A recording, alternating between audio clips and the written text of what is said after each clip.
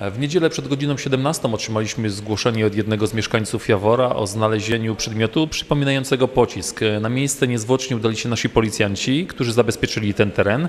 W dalszej kolejności z naszej komendy została skierowana specjalna grupa pirotechniczna, która po przybyciu potwierdziła, że faktycznie to znalezisko e, jest to niebezpieczny przedmiot. Był to pocisk artyleryjski e, o długości 50 cm i średnicy 15 cm. Miejsce to zostało zabezpieczone przez naszych policjantów przed dostępem osób postronnych. Powiadomiliśmy również jednostkę wojskową w Głogowie, gdzie pracują saperzy, e, którym następnie ten pocisk został przekazany.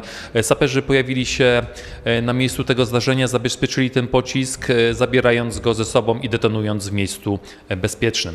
Jednocześnie apelujemy do wszystkich osób, które natrafią na takie przedmioty, które mogą pochodzić z okresu II wojny światowej lub innego okresu, a są na pewno przedmiotami niebezpiecznymi, żeby zawsze i każdorazowo powiadamiać nas i samemu nie próbować ingerować e, w takie przedmioty.